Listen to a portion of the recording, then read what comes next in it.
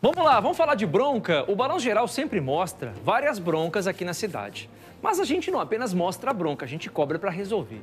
Esse é o nosso grande objetivo, porque a gente quer colocar o nosso selinho. O selinho do Balanço Geral Resolve. É isso aqui, ó, resolvido pelo BG. Esse é o nosso grande objetivo. Lembra do Bulemax na Zona Sul? Os moradores estavam sem água, a gente cobrou Sanepar. Desde domingo, os caras foram lá e resolveram. E aí? Tinha a questão da calçada ali também, é, brotando água pela calçada. Será que resolveu essa bronca também? Vamos ver, nós preparamos uma reportagem sobre esse assunto. A cobrança foi feita, teve resultado? Reportagem.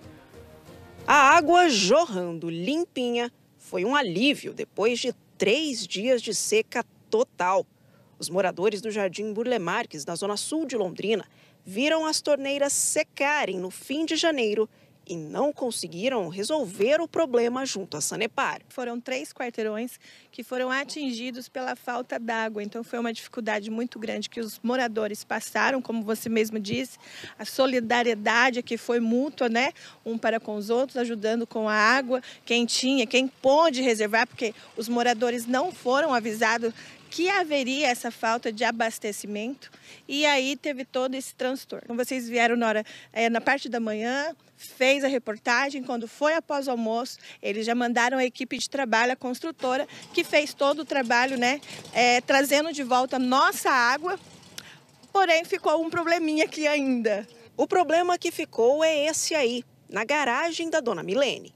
A calçada começou a afundar por causa de outro vazamento. Como não tinha vazamento visivelmente na minha casa, tudo tranquilo até então. É, dia 20, três mais ou menos, começou um vazamento aqui na obra, do lado de cima, mas era muito pouquinho.